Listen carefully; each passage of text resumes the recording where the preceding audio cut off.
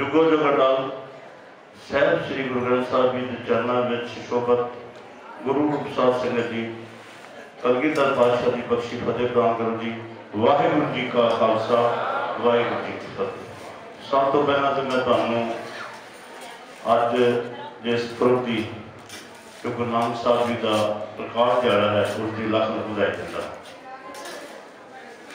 ਉਸ ਤੋਂ ਬਾਅਦ ਆਪ ਜੀ ਨੇ ਬੜੇ ਵਿਸਥਾਰ ਵਿੱਚ ਭਾਈ ਸਰਬਜੀਤ ਸਿੰਘ ਜੀ ਪਾਸੋਂ ਗੁਰਮਤਿਆਂ ਵਿਚਾਰਾਂ ਸਰਵਣ ਕੀਤੀਆਂ ਕਿ ਗੁਰੂ ਨਾਨਕ ਸਾਹਿਬ ਨੇ ਸਰੀਰਕ ਜਾਮੇ ਵਿੱਚ ਰਹਿੰਦਿਆਂ ਹੋਇਆਂ ਜਿੱਥੇ ਜਿੱਥੇ ਉਹ ਪਹੁੰਚੇ, ਜੋ ਜੋ ਉਹਨਾਂ ਨੇ ਕੌਤਕ ਰਚਾਏ, ਕਿਵੇਂ ਉਹਨਾਂ ਨੇ ਪਿਆਸਿਆਂ ਦੇ ਕੋਲ ਕੂਆਂ ਕਰਕੇ ਜਾਣ ਵਾਲੀ ਗੱਲ ਹੋਈ ਤੇ ਜਾ ਕੇ ਕੋਡੇ ਰਾਖਸ਼ ਨੂੰ ਤੇ ਹੋਰ ਸੱਜਣ ਠੱਗ ਵਰਗਿਆਂ ਨੂੰ ਸਿੱਧੇ ਰਸਤੇ ਪਾਇਆ ਵਲੀ ਕਧਾਰੇ ਨੂੰ ਸਿੱਧੇ ਰਸਤੇ ਪਾਇਆ। ਉਹਨਾਂ ਦੇ ਜੀਵਨ ਦੀ ਘਟਨਾਵਾਂ ਨਾਲ ਸੰਬੰਧਿਤ ਆਪ ਜੀ ਨੂੰ ਬੜੇ ਹੀ ਵਿਸਥਾਰ ਵਿੱਚ ਭਾਈ ਸਾਹਿਬ ਨੇ ਸਰਵ ਕਰਾਈ ਹੁਣੇ ਹੁਣੇ ਤੁਹਾਡੇ ਸਾਹਮਣੇ ਸੱਜਣ ਸਿੰਘ ਜੀ ਦੇਵਾ ਜੋ ਕਿ ਸਾਡੇ ਨਗਰ ਦੇ ਪ੍ਰਸਿੱਧ ਵਪਾਰੀ ਹਨ, ਉਹਨਾਂ ਨੇ ਕਾਫੀ ਸੇਵਾਵਾਂ ਦੇ ਪੁੱਤਰ ਤੇ ਆਪ ਗੁਰੂ ਘਰ ਵਾਸਤੇ ਕਰਦੇ ਹਾਂ। ਹਸਪਤਾਲ ਵਿੱਚ ਕਾਫੀ ਉਹਨਾਂ ਨੇ ਮਾਇਆ, ਕੋਈ ਮਸ਼ੀਨਾਂ ਵਾਸਤੇ ਸਾਨੂੰ ਦਿੱਤੀ ਹੈ। ਉਹਨਾਂ ਨੇ ਤੇ ਮੈਨੂੰ ਜ਼ਿਕਰ ਕੀਤਾ ਕਿ ਅਗਰ ਤੁਸੀਂ ਬਿਰਧ ਆਸ਼ਰਮ ਤੇ 10 ਕਮਰੇ ਮੇਰੇ ਵੱਲੋਂ ਹੋਣਗੇ। ਮੈਂ 10 ਕਮਰੇ ਪਹਿਲਾਂ ਮੈਂ ਬਣਾ ਕੇ ਜਾਣਾ ਤੇ ਮੈਂ ਕਿਹਾ ਕਿ ਗੱਲ ਤਾਂ ਇਹ ਹੈ ਕਿ 10 ਤੁਸੀਂ ਬਣਾ ਦਿਓਗੇ ਇਹ ਕਾਫੀ ਵੱਡੀ ਸੇਵਾ ਹੈ।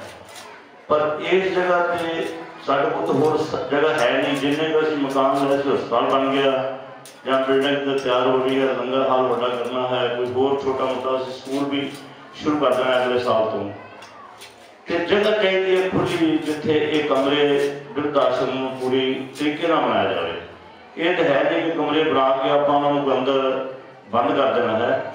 ਜੇ ਉਹਨਾਂ ਵਾਸਤੇ ਵਧੀਆ ਸਥਾਨ ਬਣਾਉਣਾ ਤੇ ਖੁੱਲੀ ਜਗ੍ਹਾ ਚਾਹੀਦੀ ਜਿੱਥੇ ਉਹਨਾਂ ਦੇ ਬੈਠਣ ਵਾਸਤੇ, ਉਹਨਾਂ ਦੇ ਖਾਣ ਪੀਣ ਵਾਸਤੇ, ਉਹਨਾਂ ਦੇ ਸੈਰ ਕਰਨ ਵਾਸਤੇ ਖੁੱਲੀ ਜਗ੍ਹਾ ਹੋਵੇ ਜਿੱਥੇ ਉਹਨਾਂ ਨੂੰ ਇਹ ਕਿਉਂਕਿ ਬੱਚੇ ਤੇ ਬਿਰਧ ਦੀ ਸੰਭਾਲ ਜਿਹੜੀ ਹੈ ਨਾ, ਉਹ ਬਹੁਤ ਜ਼ਰੂਰੀ ਹੁੰਦੀ ਹੈ।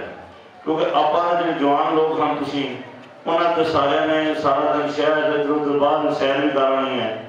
ਉਹਨਾਂ ਨੂੰ ਸੈਰ ਕਰਨ ਵਾਸਤੇ ਉਸ ਜਿਹੜੀ ਜਗ੍ਹਾ ਚਾਹੀਦੀ ਜਿੱਥੇ ਸੈਰ ਵੀ ਕਰ ਸਕਣ ਖੁੱਲੀ ਹਵਾ ਲੈ ਸਕਣ। ਇਹਦੇ ਲਈ ਸਾਨੂੰ ਕੋਈ ਖੁੱਲੀ ਜਗ੍ਹਾ ਚਾਹੀਦੀ ਹੈ।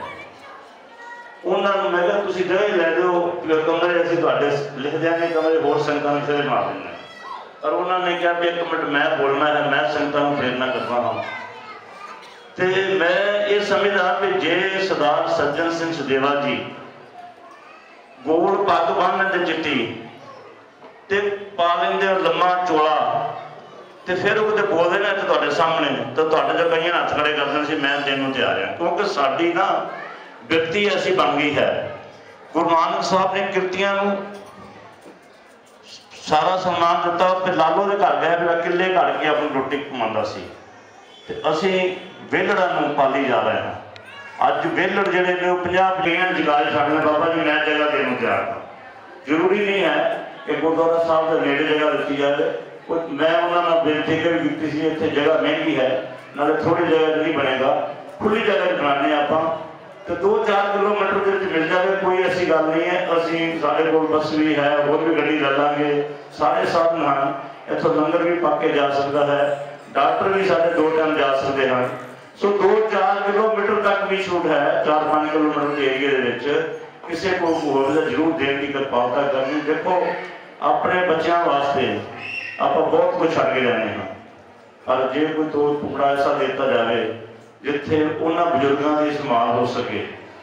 ਕਿਉਂਕਿ ਮੈਂ ਤੁਹਾਡਾ ਸੇਵਾਦਾਰ ਹੋਣ ਦੇ ਨਾਤੇ ਮੇਰੇ ਕੋਲ ਬਹੁਤ ਸਾਰੇ ਬਜ਼ੁਰਗ ਮਕਾਮਾਂ ਆ ਜਾਂਦੀਆਂ ਉਹ ਫਿਰ ਸ਼ਿਕਾਇਤਾਂ ਕਰਦੇ ਹਨ ਆਪਣੇ ਬੱਚਿਆਂ ਦੀਆਂ ਕਿ ਸਾਡੇ ਨਾਲ ਪ੍ਰਾਪਰਟੀ ਨਾਲ ਵਾਲੀਆਂ ਲੇਕਿਨ ਸਾਡੀ ਹੁਣ ਸੇਵਾ ਸੰਭਾਲ ਨਹੀਂ ਹੁੰਦੀ ਦਵਾਈ ਨਹੀਂ ਲੈ ਕੇ ਦੇ ਸਕਦੇ ਬੱਚੇ।